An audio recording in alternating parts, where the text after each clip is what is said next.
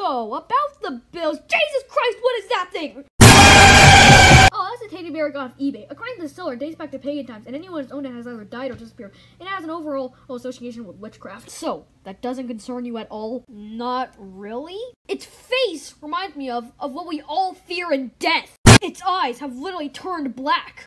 Don't all plushies do that me souls, mortals. Why did you even buy a teddy bear?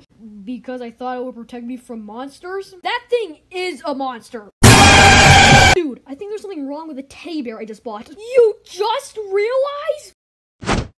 The end of times is upon us. Dude, we need to perform a ritual to vanquish the demon inside of the teddy bear.